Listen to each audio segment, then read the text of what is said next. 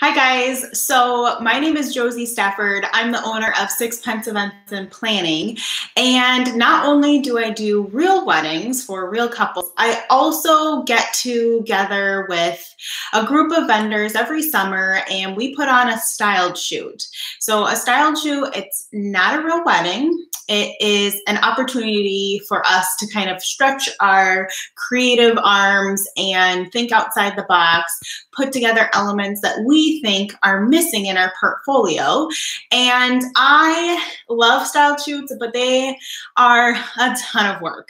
They are a lot um, of planning, which is what I do. So I like doing that, but they're a lot of work to kind of organize everyone on a schedule, usually for free or little or no money, um, pull it off in a way that is beneficial, not just um, for feeling good on the day of, but for the future, right? I want couples to see these images. I want them to feel inspired. I want them to feel accepted. And I want them to potentially hire me as their planner.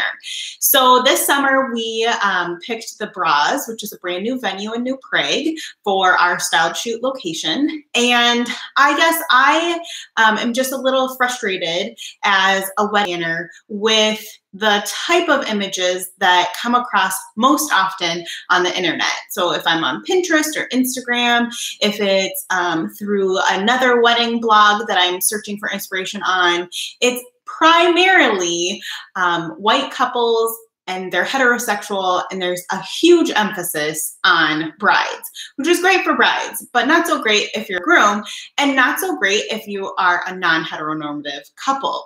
So I decided that I am going to really put my energy into something that's worthwhile for, I'm not gonna say an underrepresented represented um, group of couples because I think that the if you look at the population, right, there's a lot more white people than there are black people. That's just how it goes. So if I type in curly hair bride, I'm likely not going to get someone with my curly hair. I'm going to get um, something that does me no good whatsoever. But anyways, so not necessarily underrepresented, but just I feel like there should be more inspiration for couples who aren't white and they're not straight. So we picked um, and was lucky, we were lucky enough that Andrew with um, the wedding fair um, found us a, two guys who are willing to kind of jump in and get pictures taken of themselves all day long. Um, so they came and it was really um, kind of awesome and amazing because it's a regular shoot, right? Everyone shows up, they do all their work the same as what they were planning on doing. Um, but I really feel like um, it's going to help couples who aren't straight um, imagine what their wedding day could look like what kind of poses they want to do with their significant other and just in general that the rest of it looks the same, right? You still have stationery, still have linen, still have food, still have guests.